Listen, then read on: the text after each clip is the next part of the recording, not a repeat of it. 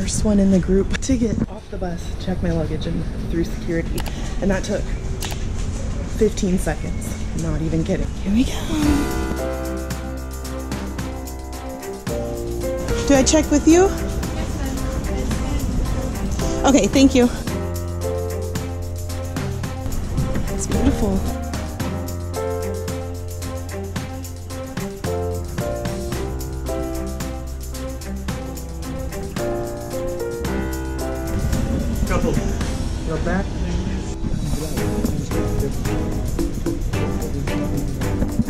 Thank you.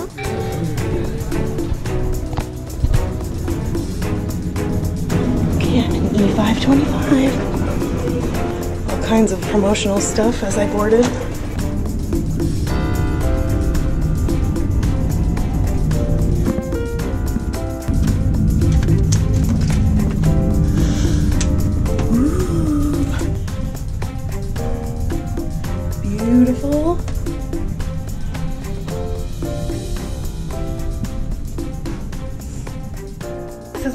Is obstructed view.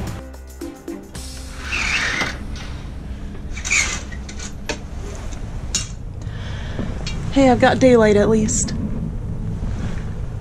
Pedro is my room steward.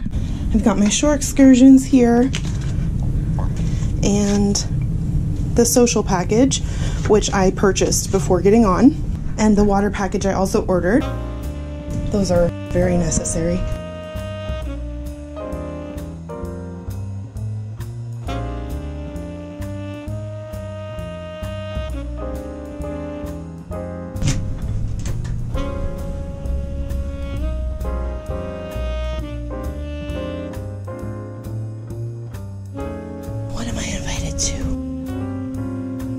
Circle cocktail party on the 3rd.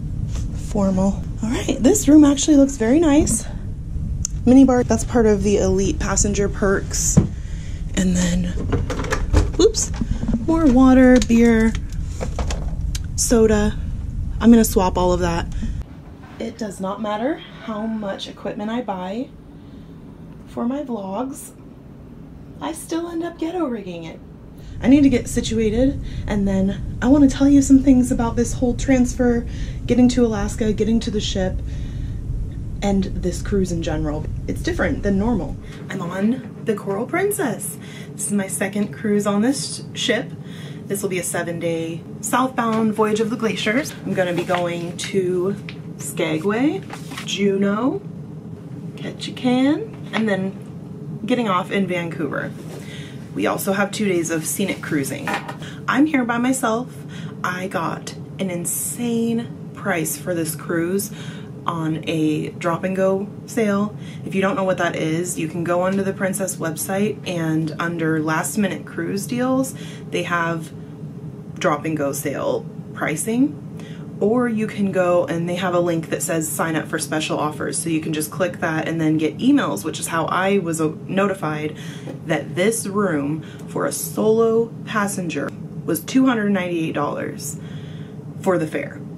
Then taxes and fees took it up to 592 total but probably the least expensive cruise I've ever been on. I mean as far as per day pricing this cruise leaves port at 8.30 tonight and um, to get to Whittier from Anchorage where everybody flies in you either take a train which is $89 I believe.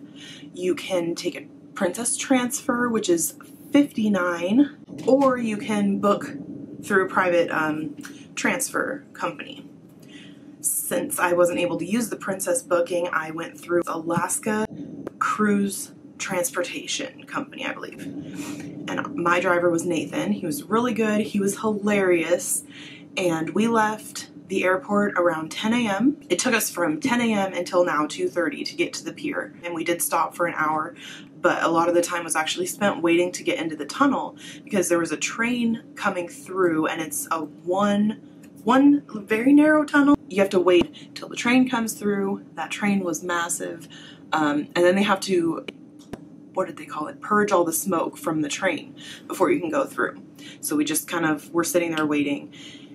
And the trains get the right of way. If I were to come back here, the thing I would do differently is stay overnight prior, just because I normally do that, and the stress of flying and making sure that you're going to be at the ship before it takes off is too much for me. I um, I travel best when I have everything lined up and I know my plan. So I would come the night before, stay on the Anchorage side, and then get up early to take the train, which is a direct path here to the ship.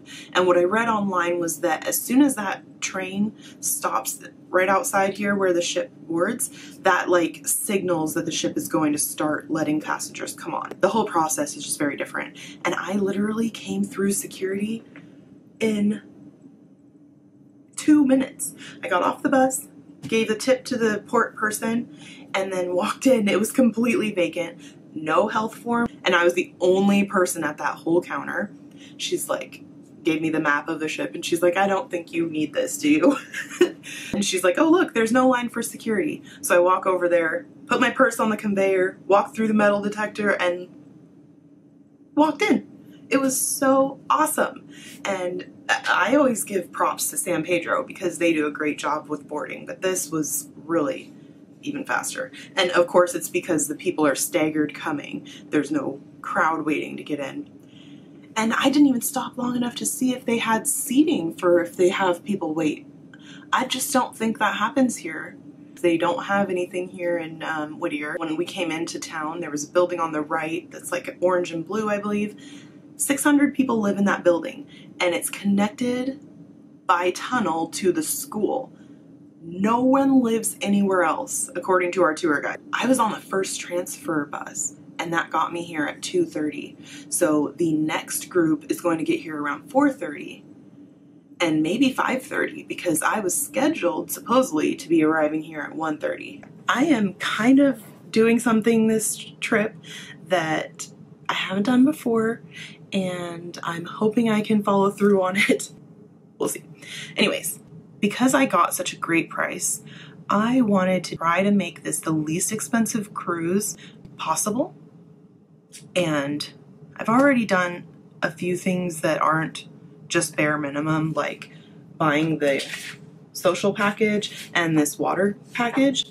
But I actually think the water is a necessity, and in my opinion, internet is also a necessity. Other than that, I'm not buying the beverage package and I am not going to be going to the sanctuary or spending frivolously. I'm not going to do all the things I generally just do out of habit on a cruise, which include those things getting my hair done, getting my nails done, just shopping in the stores or attending the sales. I am going to try and make this whole week long cruise including airfare and everything and transfers, tips, less than $1,500. And uh, initially my goal was going to be 1000 but I am about $5 away from that and I just boarded today, so it's not going to happen. I'm going to still have a blast. I guarantee you I am not going to leave this cruise feeling that I missed out on anything because that was the way that my mom cruise with me and my sister. We didn't buy anything. We drank water. I mean, that's what we just did at home anyway. So it's about three now. I got my luggage 23 minutes after getting on the ship, literally. So anyway, I'm gonna grab food and then our muster drill is not until 7.45 tonight.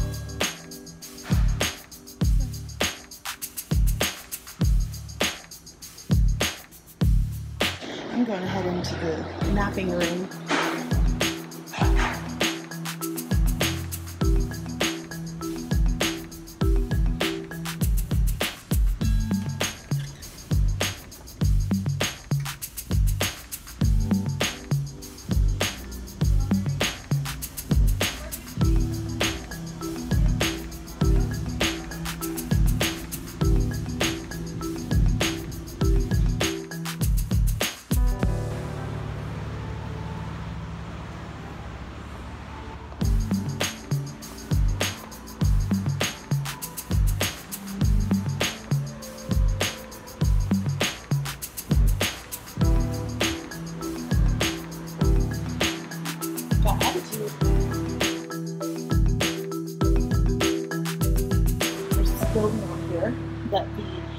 600 residents of Whittier used to live in. But according to my tour guide, or the bus driver over here, so that one is where the 600 residents of the city live now. That one is haunted. That's where they used to live. And he said that's been on Ghost Hunters. And here's a look at the pier from the ship. It's the Bayou Cafe. We got here early for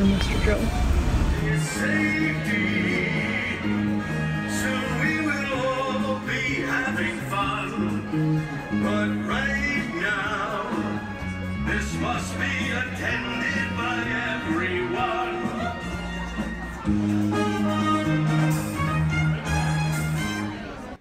Back from the muster drill. It is 8 808. Okay, the muster drill has been redone and it's great. They play a song. It's almost like Virgin Airlines. Virgin had a safety briefing that was like a really upbeat song that made you laugh. And that's what Princess is doing. I got a little clip of it, but then they demanded you put your phones down, so I didn't get much. I sat next to a lady named Arlene, talked with her about Viking cruises because she has never been on a princess ship and that is what she normally does is river cruises. So this is her first ocean cruise. And um, what a good one to pick. Alaska. It's anytime dining for everyone today. Even like i have traditional dining that's normally 7.30 but because of the late muster drill they just make it anytime for everyone. You can just pick which dining room. I'm not sure i'll do that because i've got jeans and i don't feel like this is nice enough for the dining room Tomorrow we're scenic cruising the Hubbard Glacier, and then the next day is Glacier Bay. And I really considered doing the sanctuary for that, but I ended up upgrading from the social to the surf package of internet, which was an additional $30. And even though I'm elite, it doesn't look like I have a discount on it. I have a, a minute perk of 150 minutes, which is what they used to do before they added this social package. And there are it's a very noticeable difference between the tiers of the plan because I started out on the low end and that's just Instagram messages like iMessages, Twitter, Snapchat, Skype. They do not work on that low level plan. So I upgraded to the surf plan. I am solo on this cruise so I'm gonna have to meet some people and make my time more exciting that way. But for tonight, I need to make sure I'm organized and that my room is put together so that I can enjoy the rest of the week. To give you an idea of what the boarding day looks like in Whittier, it's a much later all aboard 8 p.m. Tomorrow and the next day are scenic cruising. 12 to 4 was the first thing on the schedule. And really, if you see here, other than like meeting staff, there's not much happening until 8.15. I just see here there's no happy hour listed. I wonder if there's to be happy hour this week. It's 9 p.m. now. Look outside. Still daylight. I wanted to show you I got my room service. I decided not to go to a dining room tonight, so I have chili. This normally comes with chips, but I requested it without the chips. And a chicken Caesar salad. Wow, those pieces of chicken are big. And the other thing I got was chamomile tea. How ridiculous is this? It's gotta be after 10 and it's still daylight. And I'm laying in bed. I am going to close my curtains so that the daylight doesn't come in. Some people wonder if these actually block light. They're super thick. So yeah, they do. And watch. I still have the TV on, but it's pretty dark. So I'll see you in the morning.